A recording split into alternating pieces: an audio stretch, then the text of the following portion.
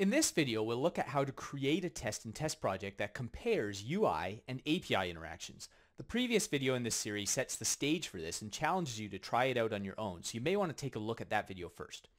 Now, let's look at combining together UI and API tests. Just to quickly review what we have here in this test, the first step here is an API call that searches for the term software testing, and then it finds the snippet in that search result and saves it into this first search result parameter.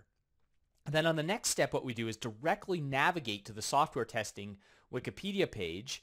And then in this step here, we get the text from that page from the first paragraph and we save it into this paragraph text parameter. Now what we want to do is compare these two inputs. So we want to see if the paragraph text includes the snippet that we got from the API.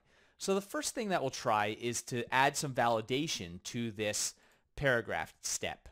We'll choose the text field here, and then we'll set our validation type to contains, and then what we want to check is that it contains the first search result. So we'll add that by clicking on this parameter here to add it into there, and then we'll accept that change. And we've added a validation to check that this contains the first search result. So now let's save this, and then let's run the test until here and see what happens. Now we can see that this test step is red. And if we look at the details here, we can see that it has failed on the comparison. And looking at this, we can see that this API snippet has some extra stuff. So it's got these span elements in it where it indicates that it's found the search result. So let's see if we can remove these from the results. So we'll close this and just add a new test step. And we'll set the type here to action. And then in the actions, we'll search for regex.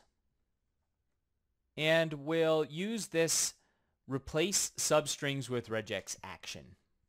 For this, the source string is going to be a parameter. So let's go look at the parameters. And the, the parameter that we'll use is our first search result as the source string. And then for the regular expression that we want to use, I'll just put in a regular expression here that will find all the HTML elements in the text and we'll leave the replacement as blank since we just want to get rid of the span. So let's go ahead and create this. And then let's go into this step and let's actually make a output parameter as well that can store the result of this. So we'll create a new one and we'll call it API snippet with spans removed. Now we need to use that output parameter that we just created in our validation that we have on the get paragraph step. So let's just drag this step down so that it will run after we've done our substring replacement. And then let's open it up and let's change the validation here. We don't want to check that it contains the first search result. Instead, we want to check that it contains the API snippets with spans removed. So we'll add that and we'll save this test step and then run the test again to see what happens.